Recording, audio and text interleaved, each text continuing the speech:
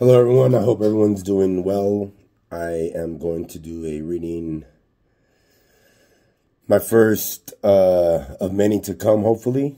This is something that I am going to continue to to do as it's helping me deal with what I'm going through and I just wanted to share with you all. I hope you all enjoy. This is a reading from a personal story that I just wrote for my class.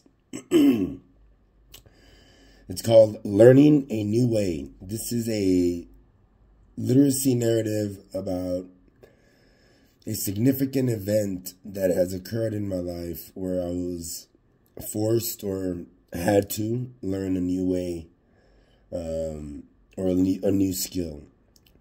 So I chose to write about my time at the blind school and a very important instructor of mine named Joe. Learning a New Way by Julian Morales. The sounds of high heels tapping the ground echoed loudly over the yelping intercom, telling passengers, take out all electronic devices before placing your bags on the conveyor belt, was all I could hear as we entered the airport. My head was spinning, my stomach turning, and all I could think about was not wanting to board this flight. The airport attendant grabbed me by the elbow and sat me in a wheelchair, making me feel less than a man and a little angry, causing me to scowl at him. After a short trip in the elevator and a ride to the gate, the attendant handed me over to the flight attendant, and off I went to Austin, Texas, to learn a new way to live at Criss Cole School for the Blind. Little did I know, but this school and the staff would teach me so much more than braille and mobility skills. What I learned is priceless and has had a lasting influence on how I view life. It had been three depressing years since I had lost most of my eyesight, and at this point found myself tired of living with my blindness. Those years were full of many nights of praying not to wake up the next morning as I fell asleep night after night. My entire life had been turned upside down. The career that I loved and had worked so hard to obtain was gone. My freedom stripped away, all in the blink of an eye. Going out in public became a hard task that I frankly gave up on. Staying home, doing drugs became my haven. Away from the stares, comments, and awkward interactions. I had hit rock bottom with a desire to stay there, with no plan. The only way out was to go to Criss Cole and learn life skills. Braille, how to use a computer, how to use my phone, and finally, my cane and mobility. My mobility classes consisted of learning to use my hearing and different styles of cane tips. Also, learning to cross streets and ride the city bus or train to find locations and learn the numeric system for the street addresses. This class also included days where my instructor would drop me off at a certain place, asking me to meet him back at the school, leaving me to fend for myself. My hearing, along with my cane and skills that my instructor Joe was teaching me, gave me the freedom to move around with confidence once again. I may not be able to tell you what Austin or my instructor Joe looked like, but I can tell you the city is loud. I remember walking by the Capitol building and hearing people's voices shouting over bullhorns, the rattle of the paper signs they held being blown by the wind, cars honking as they drove by the loud protesters.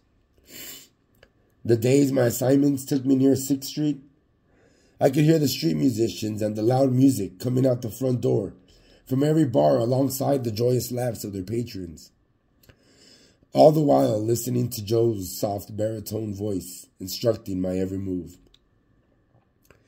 There were times I fell and got a love tap from a car or two in the parking lot of a Walmart or HEB, making my fear grow stronger and confidence shrink once again with every incident.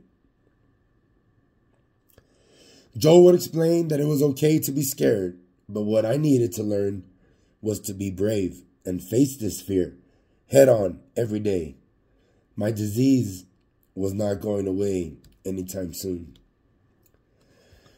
Other assignments were grocery shopping, where we had to type our shopping list with braille embossers, making our way to the grocery store and do the shopping.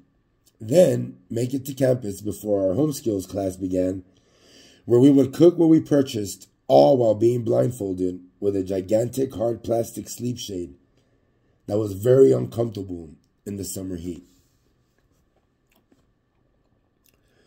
One muggy summer afternoon, I was taking I was tasked with grocery shopping and cooking for my home skills class. So I typed out my list on the embosser and off I went to catch the bus.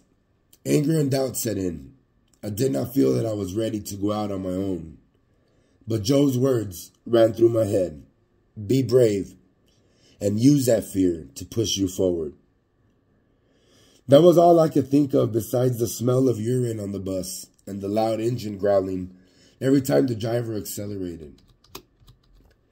HEB, North Austin, boomed in a digital voice over the speaker, letting me know this was my stop.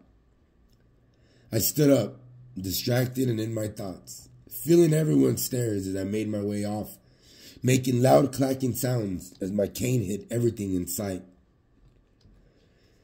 Feeling embarrassed and angry, I stuck my cane in front of me to feel for the landmark I knew was there from previous classes where Joe had accompanied me. Sweeping my cane from side to side, feeling nothing, I began to panic. Remembering what Joe had taught me, I stopped to listen for a clue. But the embarrassment, combined with doubt, would not allow me to focus on any sounds. All I could hear was a voice in my head telling me how stupid I was, and in a fit of rage, I threw my cane, all while yelling and cussing myself out, doubting even more that I would be able to live this way. Dropping to my knees, feeling the hot pavement touching my skin, I wept. Tears and sweat making my sleep shade damp where it met my face. My body shaking from the anger I felt, roaring inside me like a fire in a steam engine of a locomotive traveling uphill.